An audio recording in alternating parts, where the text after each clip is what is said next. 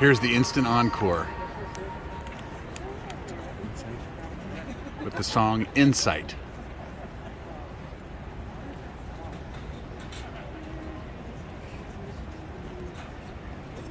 Once again, here's Pacific Crest